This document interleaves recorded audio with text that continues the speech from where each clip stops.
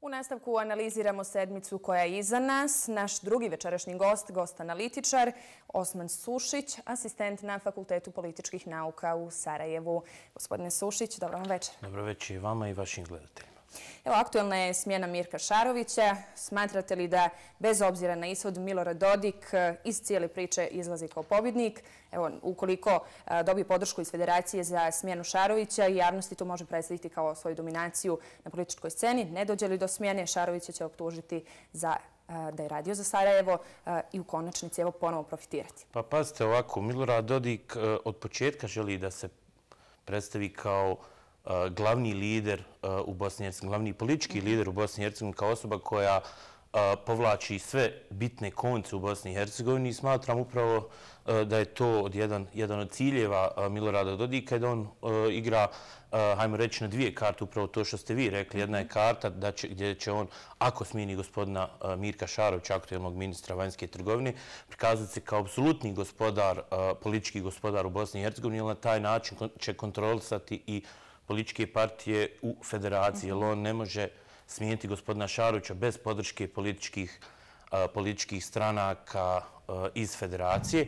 A druga karta je ta, to je, hajmo reći, karta nacionalizma na kojoj je do sada gospodin Milorad Dodik osvajao izbore i 2006. i 2010. godine sa svojom kampanjom o referendumu i ocipljenju Republike Srpske, ali evo, prošlo je skoro osam godina od te kampanje, e, gospodin Milorad Dodik nije ispunio to glavno svoje predzborno obećanje i sada e, sada povlači, hajmo reći, tu kartu gdje će reći da je SDS radio protiv Republike Srpske, iako su oni imali potpisanu zajedničku platformu o e, zajedničkom nastupanju e, SDS-a i SNSD-a na državnom nivou, iako je to po meni bila jedna neprirodna koalicija, jer na entitetskom nivou su oni bili ljuti neprijatelji još od prije 10-15 godina i same 2006. godine oni su bili neprijatelji i Milorad Dodik je došao na vlast upravo napadajući SDS i koalirajući, paktirajući, ajmo reći, sa strancima da bi onda njima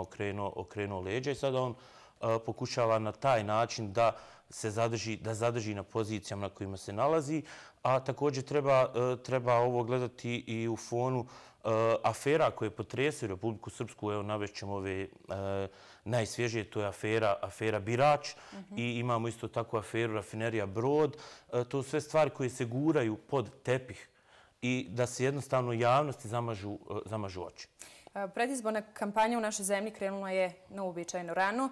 Kako će biti ovo vaše predviđanja? Hoće li se do izbora riješiti jedno krupno pitanje? Pa evo, e, ja bih želio samo da vam kažem ovu stvar. Mislim, evo, protekle su tri godine od od prvih, od zapravo od izbora 2010.